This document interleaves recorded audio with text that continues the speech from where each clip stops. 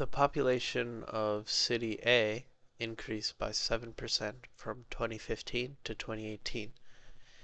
If the 2016 population is k times the 2015 population, what is the value of k? So we have this city, city A, which had a population in 2015, say 100 people, and then in 2016 the population was 7% higher than in 2015. So the population in 2016 would be 107 people compared to the 100 population in 2015.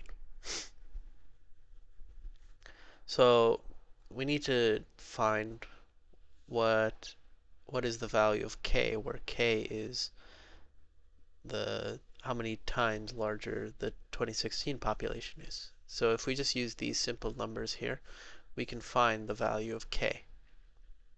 So we just need to divide the population in 2016 by the population in 2015.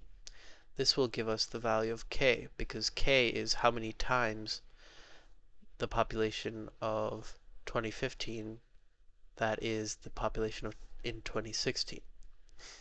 So 107 divided by 100 is just equal to 1.07.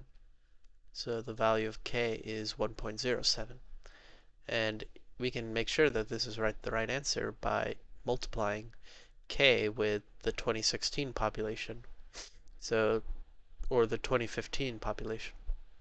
So the 2015 population was 100. So k times the 2015 population should equal the 2016 population.